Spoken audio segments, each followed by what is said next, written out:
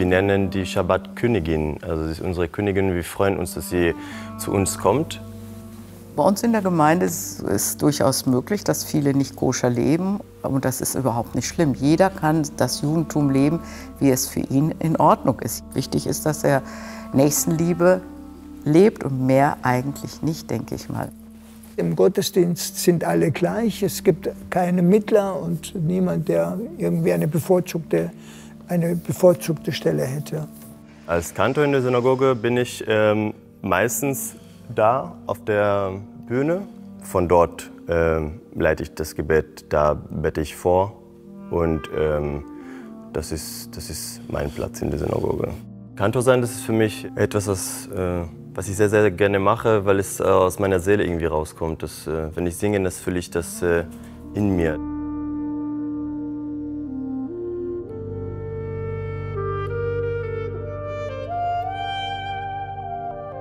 In Hebräisch heißt das nicht Gottesdienst, sondern Philah. Warum? Gottesdienst ist, der, ist das ganze Leben. Der ganze Tag ist Dienst an Gott und beschränkt sich nicht nur punktuell auf, auf die ein oder zwei Stunden. Der Schabbat-Gottesdienst gliedert sich, wenn man so will, in drei Teile. Einmal, dass man beginnt, sich so ein bisschen warm zu beten, einzubeten, sich zu konzentrieren. Äh, dann äh, hört man das auch schon am Gesang, am Gebet, es wird laut, es wird feierlicher. Nähert man sich dem Ausheben der Tora,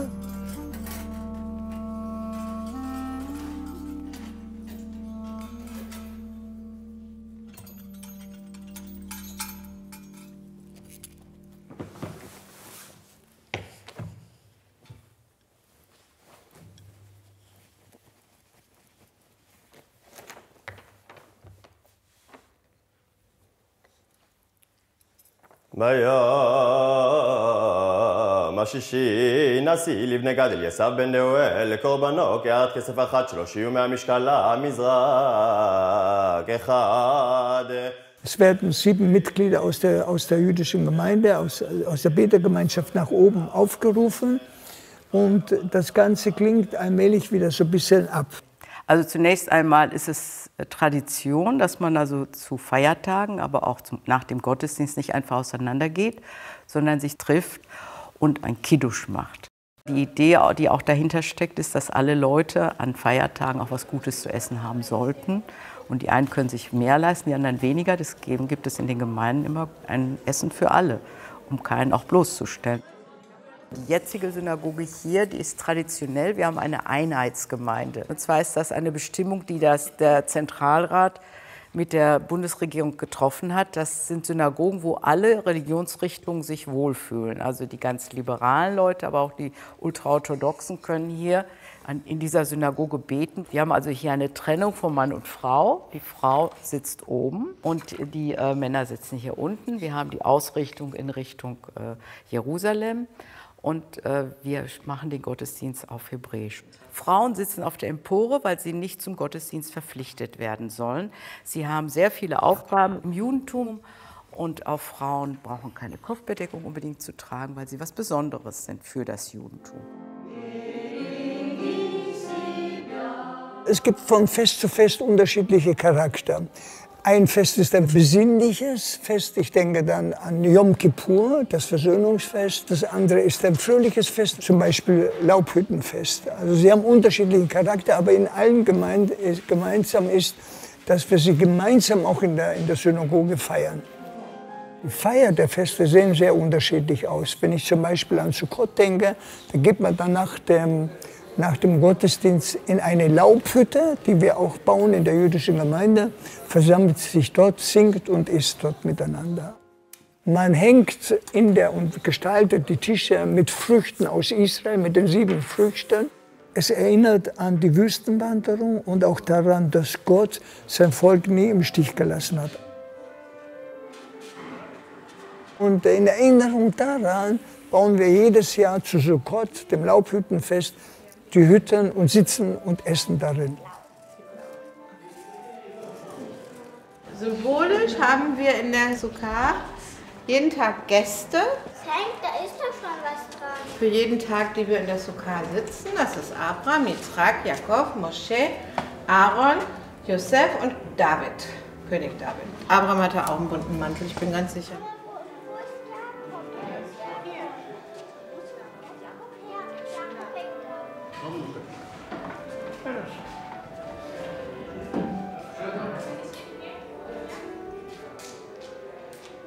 Dann gibt es zu jedem Feiertag bestimmte Gerichte, die man also traditionell isst. Zum Beispiel zu Pesach essen wir kein Brot. Wir erinnern an den Auszug aus Ägypten und essen dann ungesäuertes Brot Matzah. Dann haben wir zum Beispiel zu Purim Hamann-Taschen oder Hamann-Ohren. Hamann war ein Minister, der die Juden ausrotten wollte und äh, der über eine List dann aufgedeckt wurde und erhängt wurde. Und da essen wir Hamann-Ohren oder Hamann-Taschen und erinnern an diese Geschichte.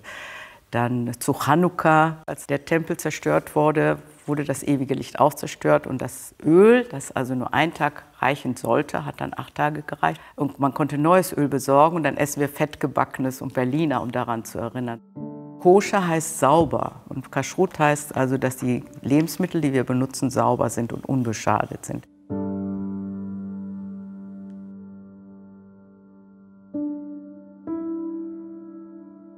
Dass die Tiere, die wir essen, artgerecht gehalten wurden und in einer besonders schonenden Art geschlachtet wurden.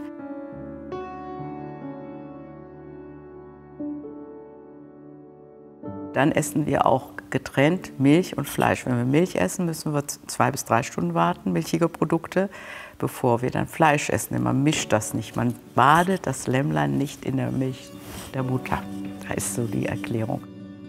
Der Ursprung ist einfach, dass weise Leute dafür gesorgt haben, dass die Leute sich ordentlich ernährten. Und äh, auch aufgrund dieser gesunden und äh, sauberen Ernährung haben die Leute auch gut überlebt. Viele Dinge sind vielleicht heute nicht mehr äh, zeitgemäß, aber wir haben ja jetzt auch eine ganz andere Lebensmittelsituation. Es gibt den hebräischen Begriff Shomer Shabbat. Shomer heißt hüten, Shabbat hüten. Wenn ich ein religiöser Jude bin, ein Shomer Shabbat, dann beachte ich den Shabbat und die Gebote des Shabbates, all das sein zu lassen, alle Arbeiten niederzulegen, die ich sonst am Werktag verrichte. Shabbat bedeutet wirklich, sich, sich fallen lassen, relaxen, ruhen, sich auf den heiligen Tag Shabbat zu konzentrieren, zur Synagoge zu gehen, zu beten und dann zu Hause schön mit der Familie zu essen. Keinerlei Arbeit sollst du verrichten an meinem heiligen Tag Schabbat.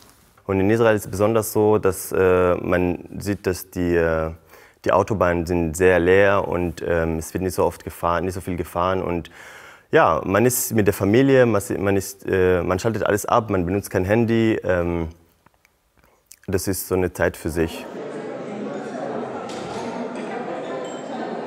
Wenn man in Münster koscher leben will, ist es eigentlich insofern schwierig, weil es keine Lebensmittelläden gibt, die äh, das also verkaufen. Das koschere Essen ist für uns irgendwo eine Identität. Also wenn ich jetzt in Israel bin zum Beispiel, da äh, fühle ich mich da nicht so eingeengt. Aber hier ist das irgendwo, lebe ich ja meinen Glauben nur hier in der Synagoge oder zu Hause.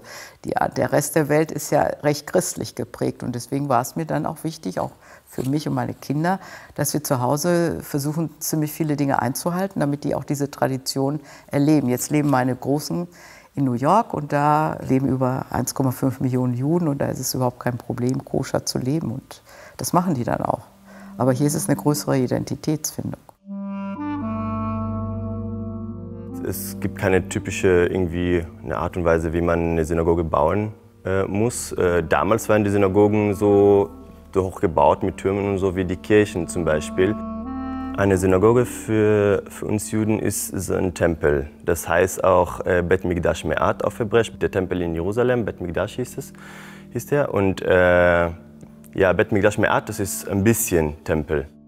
Und die Synagoge ist kein Ersatz für den Tempel, weil alle unsere jüdischen Gebete Sie implizieren unsere Sehnsucht nach der Wiedererrichtung des Tempels in Jerusalem. Nach der Zerstörung des Tempels mussten wir Orte haben, wo wir uns als Jude zum Gebet und zum Feiern unserer jüdischen Feste versammeln konnten. כסף שבעים שקל בשקל, הקודש נהמלים, סולת ברולה בשמן, למנחה. Hebräisch ist die heilige Sprache, Lashon HaKodesh. Warum?